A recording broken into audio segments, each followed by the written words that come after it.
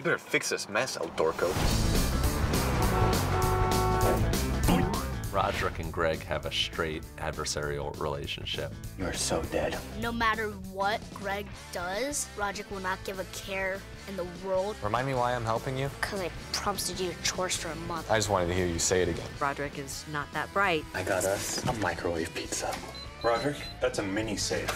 He's obsessed with getting his van fixed that he uses for his band, and that is all a means to meet chicks. I'm a musician. Hey, babe, I'm a musician. My band's playing the car wash this weekend. It's gonna be mega. The only way to survive a family road trip is to find an ally. They team up and cause a lot of this trouble together. Yeah. They feed off each other's worst instincts. Ah! They have a great comedic energy. You're as much trouble as I am. No way. I spent years lowering mom and dad's expectations.